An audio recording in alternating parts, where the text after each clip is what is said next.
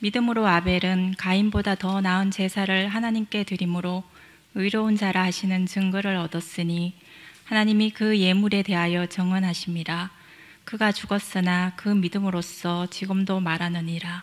함께 읽겠습니다.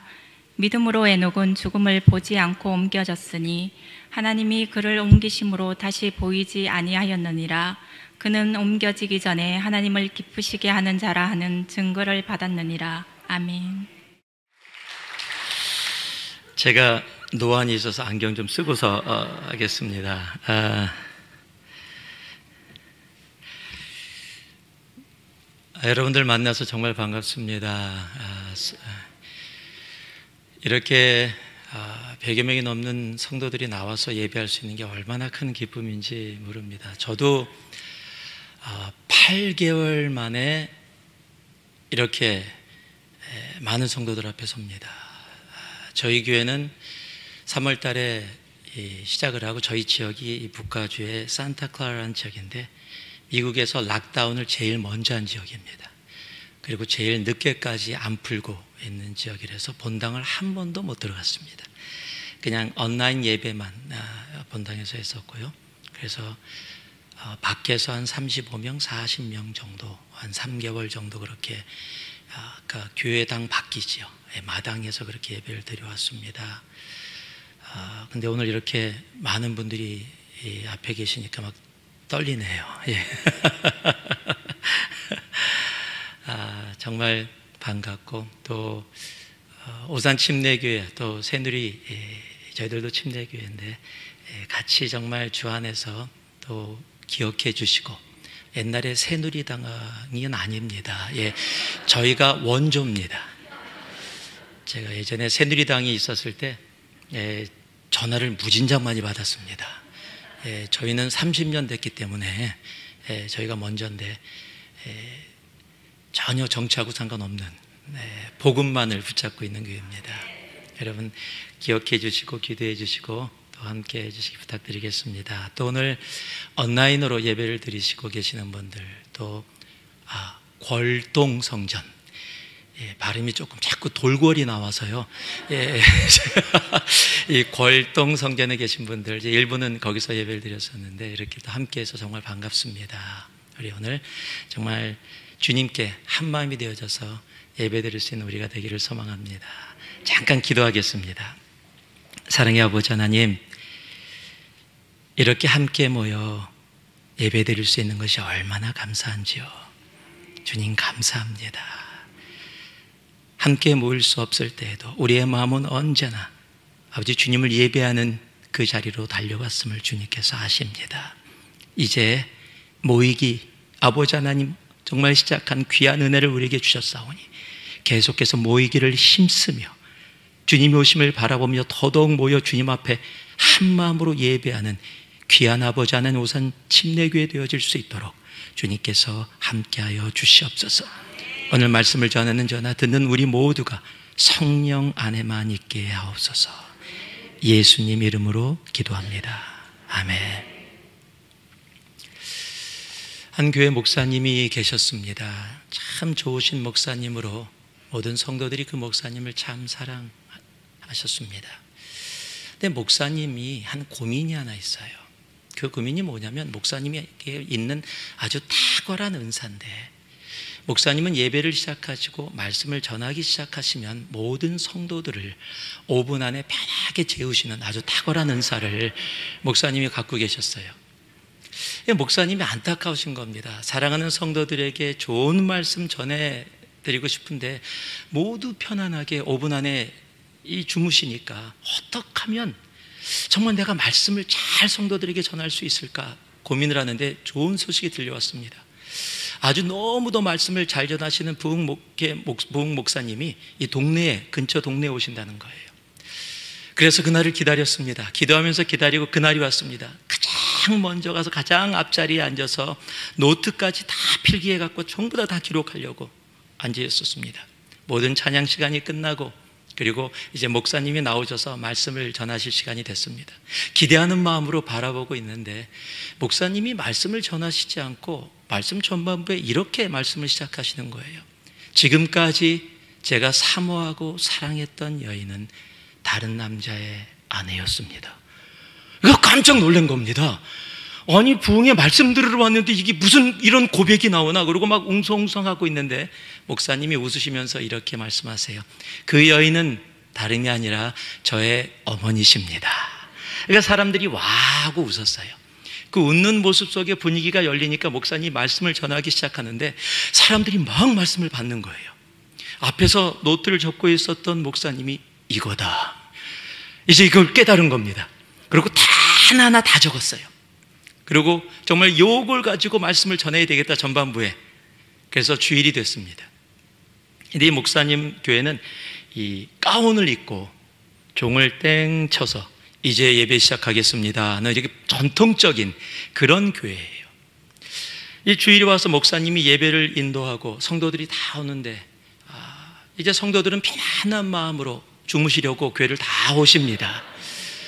아무 부담 없이 편안하게 예배당에 오셔서 앉아 계시고 이제 목사님이 말씀을 시작하시니까 모든 분들이 준비를 시작합니다. 5분 안에 잠들어야 되니까 다 준비를 하고 계신데 목사님이 말씀을 전하시는데 지금까지 제가 사모하고 사랑했던 여인은 다른 남자의 아내였습니다. 온 교회가 놀란 거예요. 우리 목사님에게서 도저히 나올 수 없는 상상조차 못하던 얘기를 들으니까 교회가 깜짝 놀랐는데 막 어떤 권사님은 일어나셔서 눈물을 흘리시면서 막 어떨지 모르고 장로님들은 입을 벌리고 뭐 말을 못하고 하니까 그 모습을 보던 목사님이 놀랬어요. 당신도 놀라신 겁니다. 상상도 못하던 모습에서 막 놀래면서 바로 다음 말을 하셔야 되는데 그게 기억이 나지 않는 거예요. 그래서 성도들에게 이렇게 얘기합니다. 그런데 그 여자가 누군지 도무지 생각이 나지 않습니다. 아무리 좋은 것이라도요, 온전히 나의 것이 되어지지 않으면 그것은 아무 소용이 없습니다. 믿음 또한 그렇습니다. 교회는 믿음의 공동체입니다. 여러분, 우리 크리스천들에게 있어서 믿음은 너무도 소중하고 너무도 중요한 것입니다. 요즘 한국 교회가 많이 힘들고 어렵습니다. 예전에도 힘들었었지만 팬데믹을 만나면서 더 힘들고 더 어려워졌습니다. 예전에는요, 교회에 대해서 긍정적으로 생각하지 않으셨던 분이 친구가 교회 다닌다고 그러면은, 어, 너 교회 다녀? 그리고 조금 그런 아, 말투로 그렇게 얘기를 했다고 해요. 근데 요즘은 그렇게 얘기 안 한답니다.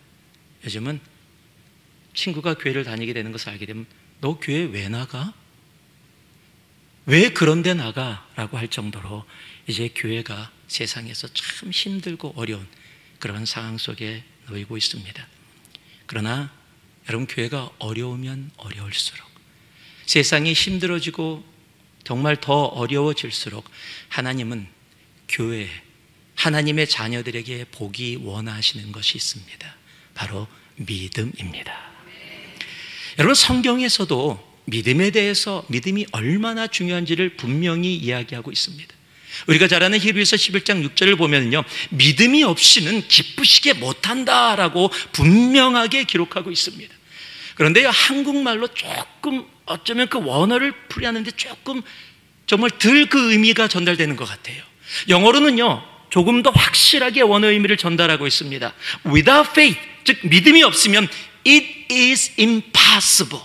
즉 불가능하다라는 겁니다.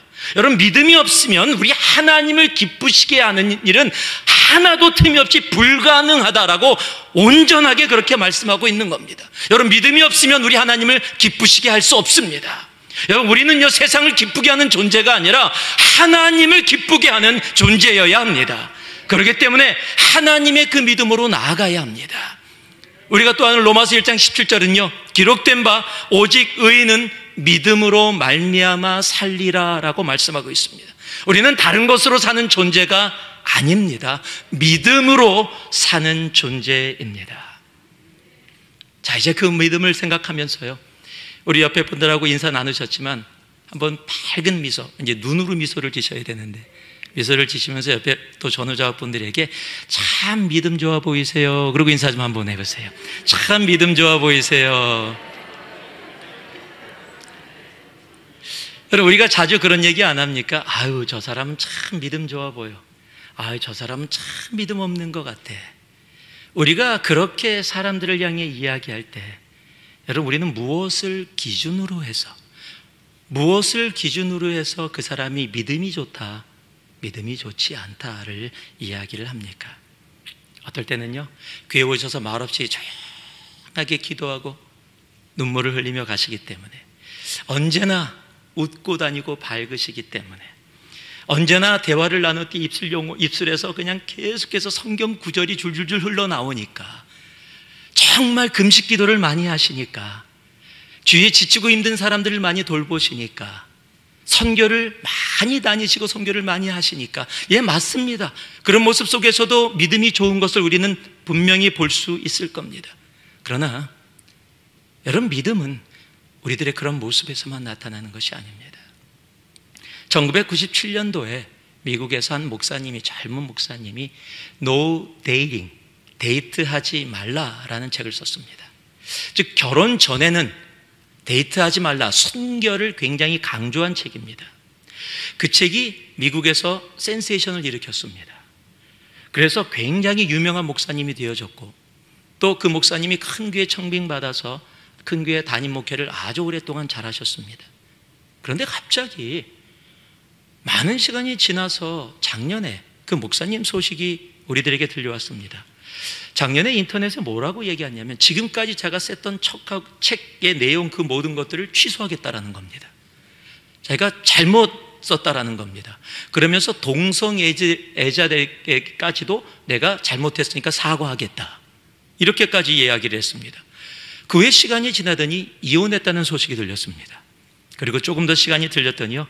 그분이 인터넷에 나는 더 이상 하나님을 따르는 크리스찬이 아니다라고 고백까지 했습니다. 여러분 대체 믿음이 무엇일까요? 믿음이 있어서 그렇게 아니 교회 섬기기까지 했던 분이 그런 모습이 되어진다면 여러분 성경에서 이야기하는 하나님이 보기 원하시는 믿음은 과연 무엇일까요? 믿습니다! 라고 외치면 여러분 그것이 믿음입니까? 아니 어떨 때는요 믿음을 말하면서 주위의 사람들에게 상처를 더 주고 정죄할 때도 많은 것이 우리들의 모습입니다. 여러분 그래서요 중요한 것은 내가 생각하는 내가 바라보고 내가 살아왔던 믿음의 모습이 아니라 성경이 하나님이 보기 원하시는 하나님이 기뻐하시는 믿음이 무엇인가를 알고 힘들면 힘들수록 그 가운데서 하나님이 보기 원하시는 하나님이 기뻐하시는 믿음의 모습으로 나아가는 우리들이 되어야 합니다. 오늘 히브리서 11장은요. 성경에서 믿음장이라고 우리들이 부르는 바로 그러한 장입니다. 이 믿음장은 여러 신앙의 선배들의 모습이 나옵니다. 그리고 다른 시대에 살았던 다른 모습의 삶이 나오는데 하나님은 그들의 삶을 단 한마디로 표현합니다. 믿음으로. By faith, 믿음으로라고 그렇게 말씀하고 있습니다. 오늘 이 말씀을 통해서요, 하나님이 보시는 믿음, 그 믿음의 삶으로 나아갈 수 있는 우리가 되어지기를 소망합니다. 그리고 그 믿음은 우리의 삶 가운데 어떠한 모습으로 내가 믿음으로 살아가고 있다면 하나님이 보기 원하시는 믿음으로 살아가고 있다면 그 믿음이 어떠한 모습으로 나타나는지를 오늘 이 말씀 가운데서 함께 가슴에 담고 나아갈 수 있는 우리가 되기를 예수 그리스도의 이름으로 축복하고 축복합니다. 첫 번째로요. 4절 말씀을 제가 읽어드리겠습니다. 믿음으로 아벨은 가인보다 더 나은 제사를 하나님께 드림으로 의로운 자를 하시는 증거를 얻었으니 하나님이 그 예물에 대하여 증거하심이라 저가 죽었으나 그 믿음으로써 오히려 말하느니라. 자, 한번 따라해 주실래요? 믿음은 믿음은 예배로 나타납니다. 여러분은 어떤 예배를 좋아하세요? 조용하게 묵상하면서 하는 예배를 좋아하십니까? 아니면 찬양이 많은 예배를 좋아하세요? 찬양이 많은 예배를 좋아하시는 분 한 분. 어, 일부 때 별로 많이 없어진데 찬양 다 하시던데, 다 많이. 예. 사람들마다 다 자기가 좋아하는 스타일의 예배가 있습니다. 저희 교회는 아, 1부부터 4부로 되어 있는데 일부 예배가 예, 사람들에게 인기가 있습니다. 왜냐하면 짧아요. 예. 45분 예배입니다. 예. 모든 사람들이 좋아하는 예배는 짧은 예배입니다. 예. 공통적으로. 또 2부 예배는 전통 예배로 드리고 찬송가만 부르고요. 3부 예배는 찬양을 많이 합니다. 4부 예배는 좀 젊은 사람들이 더 많이 나오는데 그러다 보니까 뭐 가면은 뭐 정신 없습니다. 뛰고. 그게 다른 다 자기들이 원하는 예배 스타일의 모습으로 사람들이 나오게 되어져 있습니다. 사람들은 각자가 갖고 있는 모습들이 다 있습니다. 제가 미국에 처음 갔을 때 제가 80년대 초에 미국을 이민을 갔습니다. 고등학교 때 이민을 갔는데 어, 가서 어떤 선교단체에 가서 매주마다 함께 예배를 드리는 그런 시간이 있었는데 그 건물이 흑인 교회 건물이었어요. 예배를 드리고 나오면은 흑인 교회가 굉장히 시끄럽게 막 예배를 드리는 거예요. 저는 한 번도 그런 예배를 경험해 본 적이 없습니다. 한국에 있을 때도 굉장히 전통적인 아, 예배를 드렸고 목사님이 강대상 밑에 계시다가 강대상 위에 올라오시면 목소리가 바뀌는. 아 형제님 자매님 반가워요. 그러다가 땅쯤 이제 예배 드리겠습니다. 이렇게 바뀌는 그런 교회를 다녔기 때문에 제가. 예, 그런 모습 속에서 전통적인 그런 교회였는데 하도 궁금해서 하루는 문을 열고 살짝 봤습니다. 고개만 집어넣고 살짝 봤는데 깜짝 놀랐어요 성가대가 찬양을 하고 있는 시간이었는데 성가복을 입으신 여자 지휘자셨는데 그 흑인 아주머니가 조금 조심스럽게 얘기하는데 좀 이렇게 좀 넓으신 그런 분이셨어요. 우리 성가대가 한국교회에서 하면은 그냥 성가대가 앞에 서 있고 지휘를 하는 그 정도로 보통 이렇게 움직여질 텐데 조금 흥이 나시는 분도 그냥 조금 요 정도의 이동이지요. 그런데 그분은 저기서부터 여기까지 뛰어다니시는 거예요. 성가 지휘를 하시면서 막 뛰어. 이 지휘도 우리는 뭐 4분의 3박자, 4분의 4박자 이런 게 있는데 그런 게 없어요. 이게 지위인지 뭔지 모르는 상황으로 막 뛰어다니시는데 그렇다고 성가대원은 가만히 있느냐? 성가대원들도 그 자리에서 막 춤을 추면서 찬양을 하고 함께한 성도들도 일어나서 복도로 나와서 거기서 막 춤을 추는 거예요. 저는 그런 예배를 처음 봤습니다. 태어나서. 깜짝 놀라서 보고 있는데 제 친구가 저를 똑똑 쳐요. 그러더니 뭐해? 당연하죠. 뭐 이렇게 고개만 듣고 있었으니까. 그 친구가 뭐 예배가 어떠냐 이런 질문을 한 것도 아닌데 제가 문을 닫으며 그 친구를 보면서 제 입에서 나온 첫 번째 말이 있습니다. 야, 이단인가 봐. 여러분, 저한테는요, 그 예배가 이단처럼 보여져서 왜? 제가 생각하는 예배의 모습이 있었기 때문에 그래요. 나는 이게 예배다. 이제 예배 시작하겠습니다. 그게 저에게 예배였었는데 도저히 받아들일 수 없는 예배 형태를 보니까 이단이라고 생각이 되어질 정도로 자기가 생각하는 예배가 있어요. 여러분, 그런데요. 내가 생각하는 예배가 아니라, 내가 좋아하는 예배 스타일이 아니라, 하나님이 기뻐하시는 예배. 하나님이 받으시는 예배. 여러분, 그것이 훨씬 더 중요합니다. 오늘 본문을 봤더니, 여러분, 뭐라고 얘기하고 있습니까? 아벨은 가인보다 더 나은 제사를 드렸다라고 얘기하고 있어요. 아벨은 가인보다 더 나은 예배를 하나님께 드렸다. 그것을 뭐라고 말씀하고 있어요? 믿음으로라고 말씀하고 있다라는 사실입니다. 근데 문제는요. 히브리서에서 더 나은 예배를 드렸다라고 말씀하고 있는데 더 나은 예배가 뭔지 설명을 안 해주고 계시다라는 거예요. 그런데 여러분 가인과 아벨이 등장하는 히브리서 말고 책의 내용이 또 있습니다. 바로 창세기입니다. 창세기에서 우리가 더 나은 예배가 무엇인지를 좀 알 수 있습니다. 창세기 4장 4절과 5절을 보면은요, 이렇게 기록되어 있습니다. 아벨은 자기도 양의 첫 새끼와 그 기름으로 드렸더니 여호와께서 아벨과 그 제물은 연락하셨으나 가인과 그 제물은 연락하지 아니하신지라 받으시지 아니하신지라 가인이 심히 분하여 얼굴색이 안색이 변했다라고 이야기하고 있습니다. 이스라엘 사람, 히브리 사람들에게는 순서가 굉장히 중요합니다. 한국 사람들하고 비슷한 것 같아요. 저도 아, 한국에서 국민학교, 저희는 국민학교였는데, 국민학교 다닐 때 저는 20번을 넘어가 본 적이 없습니다.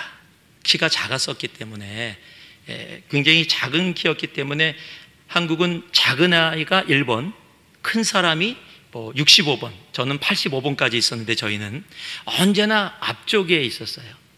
한국 사람들은 순서가 중요하기 때문에 제가 미국 갔을 때 한 번도 성적표에 전교 몇 등이라고 나온 적이 없는데 한국은 중간고사나 학기말고사를 보면 교무실 복도에다가 1등부터 900등까지 다 기록을 해놓습니다.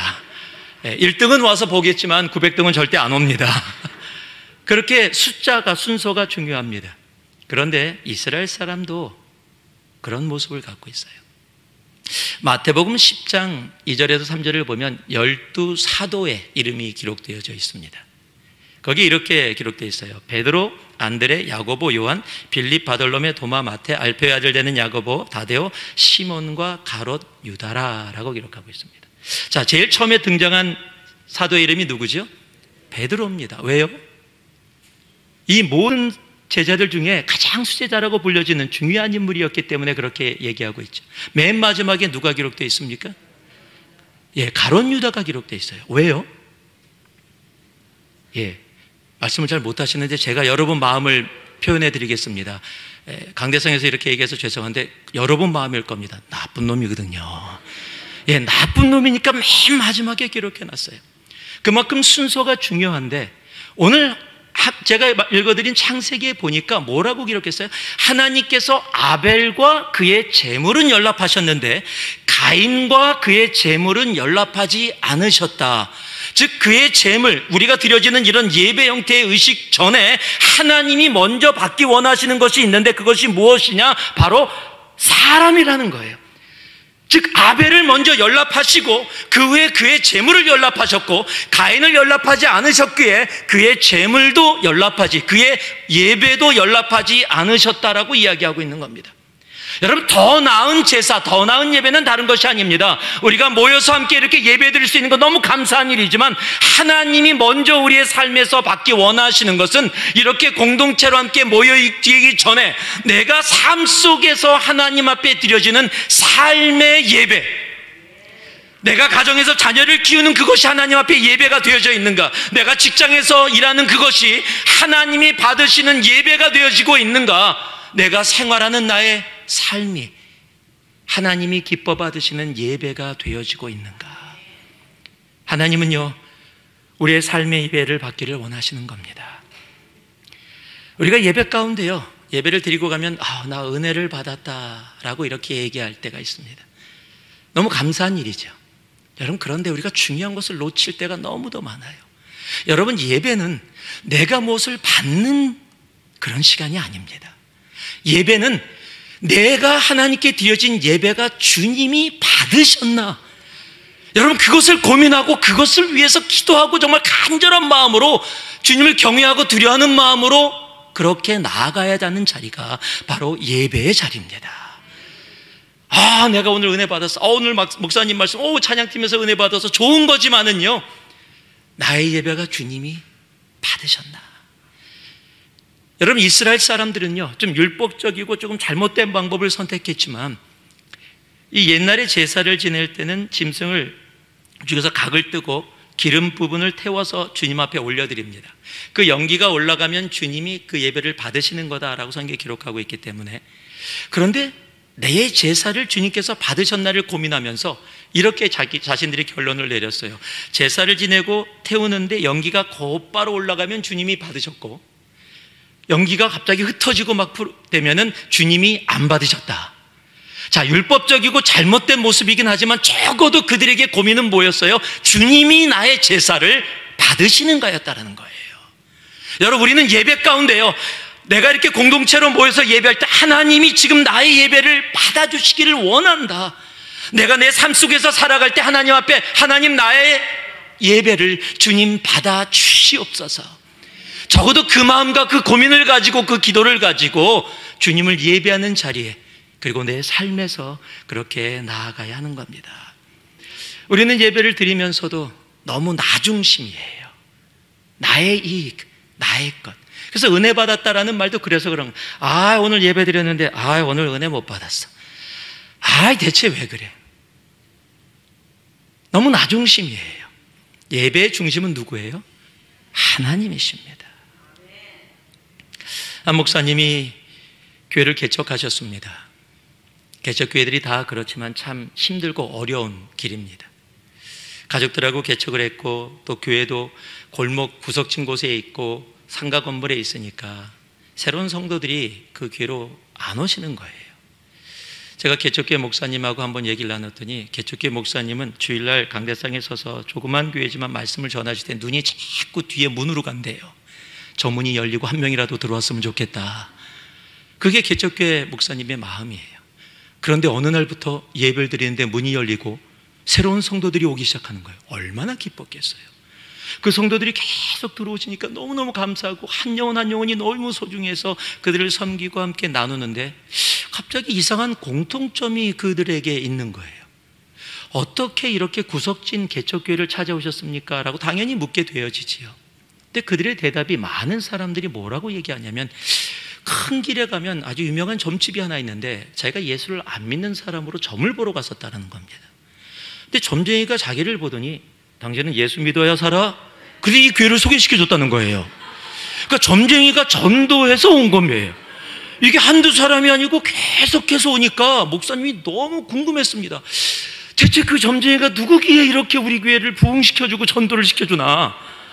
그래서 가서 물어보고 싶은데, 그래서 그 앞에도 몇번 갔는데, 괜히 목사가 점집에 들어가면 오해받을까 봐.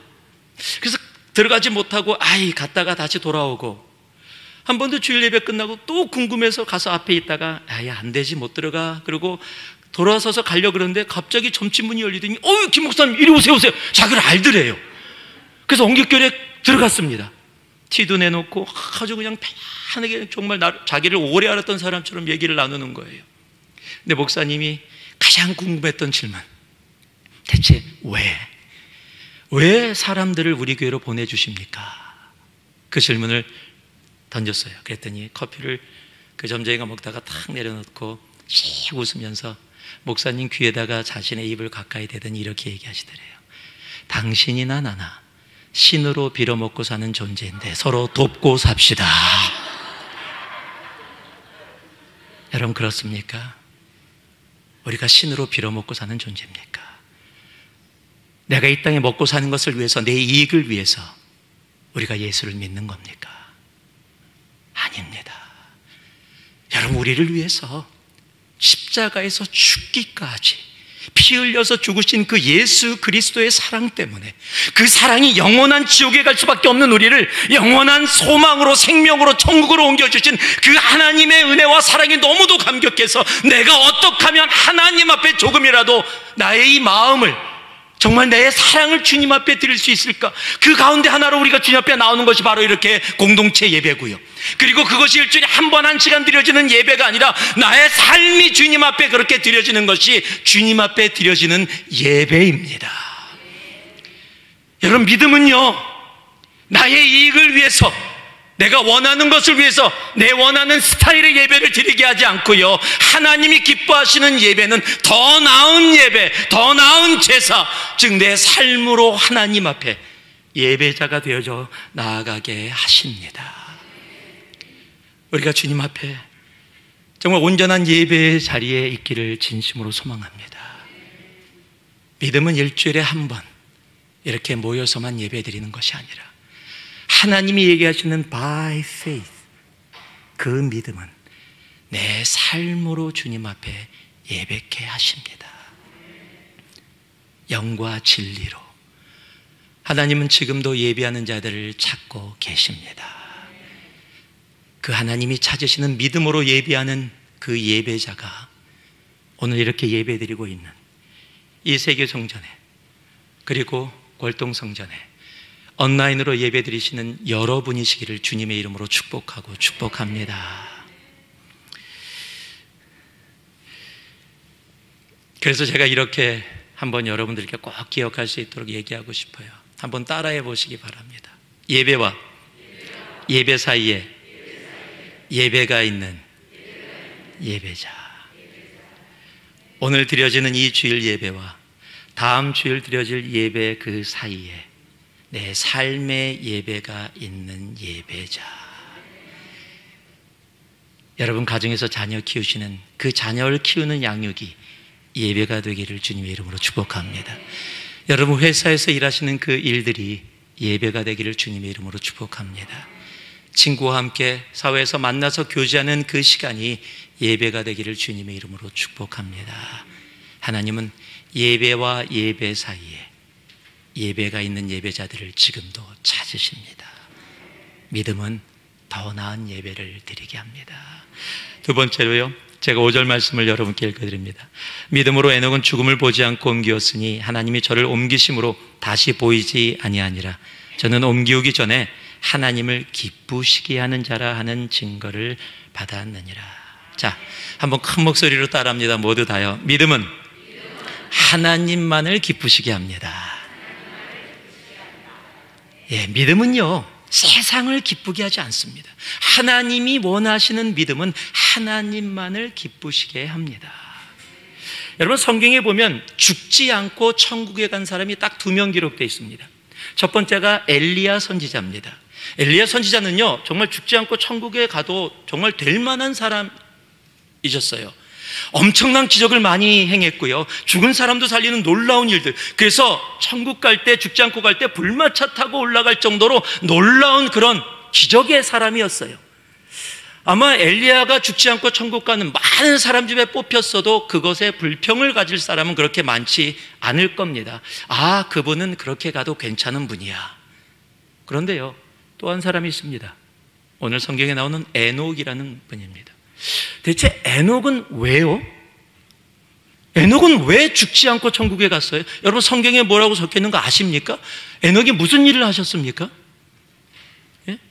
아니 시브리서 자체에는 그냥 하나님을 기쁘시게 하는 증거를 얻었다라고만 돼 있는데 대체 무엇을 해서 기쁘게 했을까요?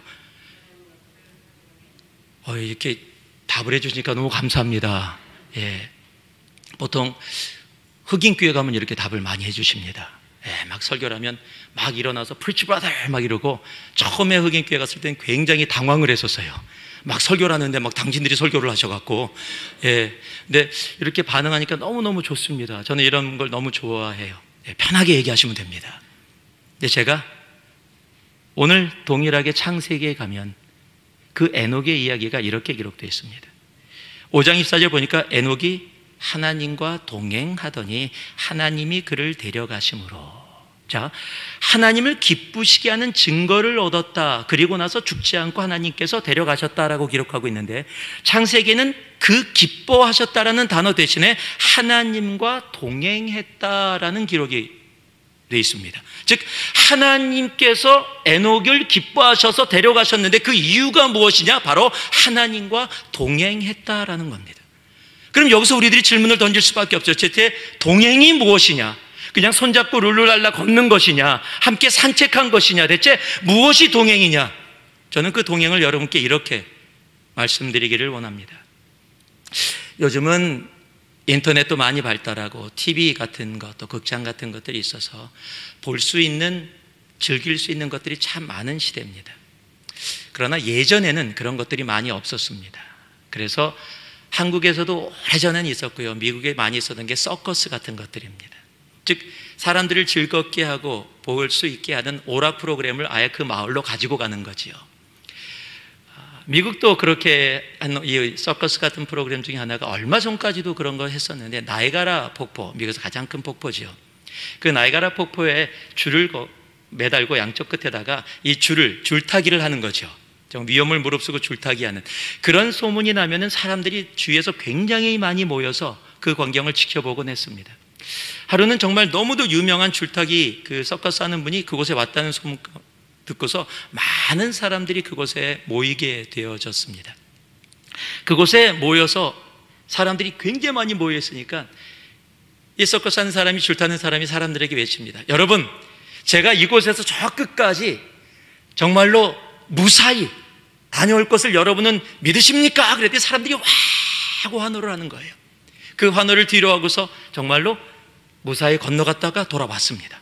사람들이 막 너무 그 위험한 일을 아주 간단하게 행하니까 두 번째 또 질문을 합니다. 여러분, 제가 그냥 맨몸이 아니라 의자를 등에다가 맵니다. 무거운 의자를 등에다 딱 메고 내가 맨몸이 아니라 의자를 등에 메고도 저 끝에까지 무사히 갔다가 올 것을 여러분 믿으십니까? 그랬더니 사람들이 더 큰 환호로 대답을 합니다. 그리고 그 사람은 그것을 건넜다가 돌아오십니다. 사람들이 막 난리가 났습니다. 이제 한 번 더 질문을 합니다. 여러분, 제가 맨몸이 아니라 제가 맨 의자가 아니라 이 의자에 사람을 앉히고도 내가 저기를 무사히 건넜다가 돌아올 것을 여러분 믿으십니까? 그랬더니 만약에 교회 같으면 아멘 할렐루야 거의 이런 분위기예요. 막 분위기로 와 일어나는데 그분이 질문을 하나 더 합니다. 그러면 여러분 중에 누가 이 의자에 앉으시겠습니까? 갑자기 조용해지는 거예요. 다른 사람이 하는 거는 괜찮은데 나는 아닌 거죠. 여러분 동행은요 구경이 아닙니다. 그저 아멘 할렐루야 외치는 환호가 아닙니다. 동행은 믿음으로 그 의자에 앉는 겁니다. 내가 비록 손해를 본다 할지라도 내가 심지어는 생명을 잃는다고 할지라도 여러분 주님이 걸어가신 그 갈보리의 길을 나도 함께 주님, 내가 세상에서 손해보고, 내가 세상에서 손가락질 받고, 내가 세상에서 정말로 생명을 잃는 자리가 된다고 할지라도, 주님, 주님이 그 걸으신 길, 내가 입술로만 믿음으로 할렐루야 믿습니다 외치는 자가 아니라, 내가 주님이 걸어가신 그 길, 주님이 등에 매신 그 의자에, 그 십자가의 길, 제가 그곳에서 함께 가겠습니다. 여러분, 그것이 동행입니다. 하나님은 그 동행을 기뻐하십니다. 이 시대가 참 예수 믿는다는 것이 힘들고 어려운 내가 예수 믿는다라고 다른 사람에게 얘기하고 싶지 않은 교회 다닌다고 하면 너희 교회를 왜 그래? 라고 이야기하는 그런 시대. 여러분, 예수님 때문에 내가 예수님 믿기 때문에 손해본다 할지라도, 내가 예수님 믿기 때문에 손가락질 받는다 할지라도, 여러분, 주님이 걸어가시는 그 골고다의 길, 그 갈보리의 길, 여러분, 함께 걸어갈 수 있는 우리가 되기를 진심으로 소망합니다. 믿음은 평탄한 길이 아니라 갈보리의 길을 걷게 합니다. 그래서 믿음은 그 동행으로 하나님을 기쁘시게 합니다. 세상에 좋은 길만 걸어가는 우리들이 아니라 믿음의 길, 십자가의 길 걸어갈 수 있는 우리가 되기를 다시 한번 예수 그리스도 이름으로 축복하고 축복합니다. 마지막으로 한 가지를 더 얘기하면요. 4절과 5절은 믿음으로 아벨은 믿음으로 에녹은 이렇게 성경 말씀이 시작합니다. 근데 제가 중간 부분을 다 한번 빼고 읽어볼게요.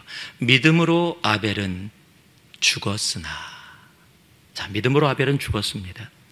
믿음으로 에녹은 죽음을 보지 않고, 즉, 믿음으로 에녹은 살았다라고.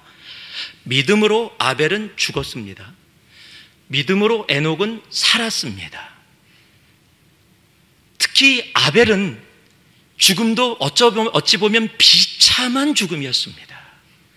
하나님께 와서 예배를 드렸더니 하나님이 그 예배를 받아주셨어요. 여러분, 얼마나 기쁩니까? 나의 예배를 주님께서 기뻐 받아주셨어요.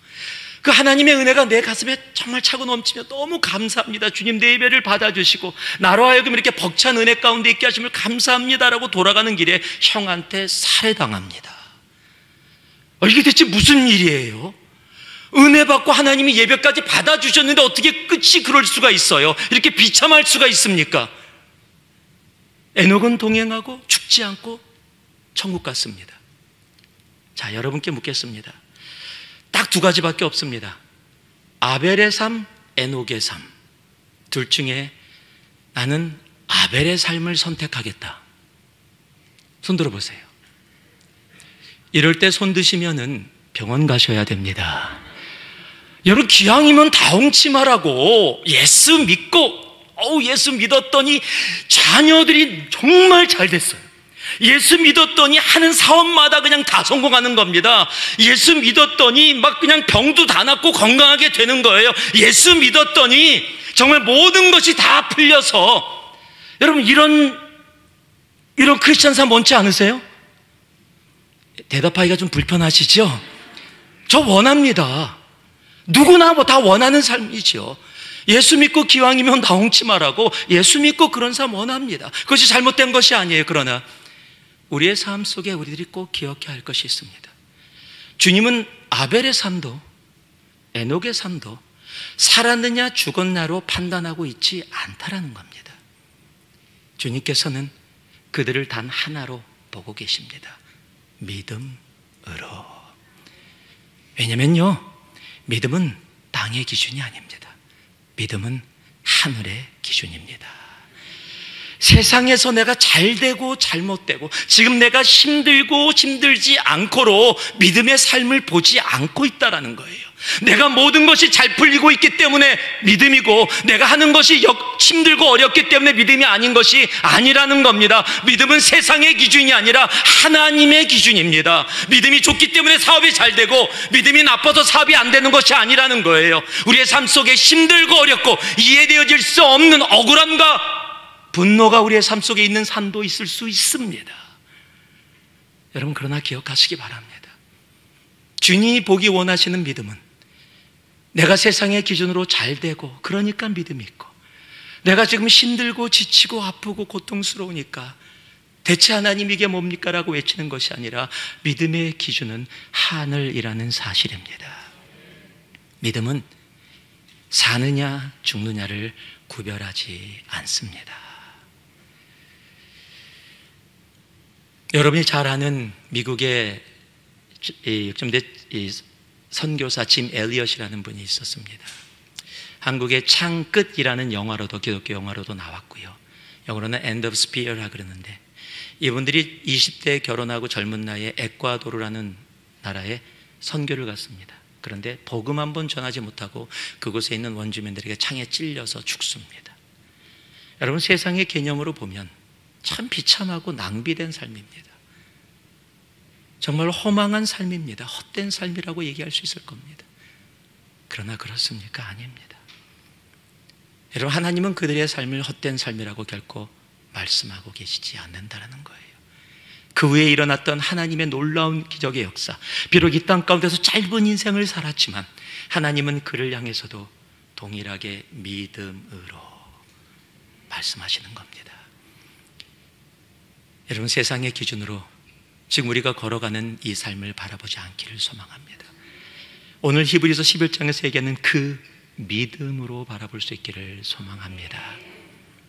세상에 크리스천으로 산다는 것, 이 한국 땅에 산다는 것 비록 힘들고 어렵고 마음에 불편함이 있을지 몰라도 여러분 이런 때 주님이 보기 원하시는 것, 주님의 자녀로부터 주님의 교회로부터 보기 원하시는 것은 바로 이러한 믿음입니다.